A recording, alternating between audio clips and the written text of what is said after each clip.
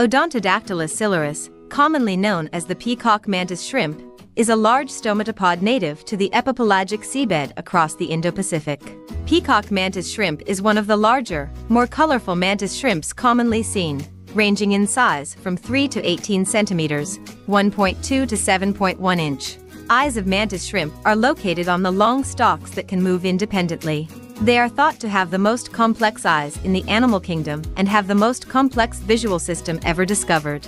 Peacock mantis shrimp is a smasher, with club-shaped raptorial appendages.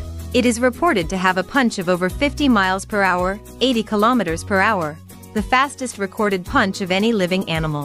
Their punch is so fast it results in cavitation bubbles.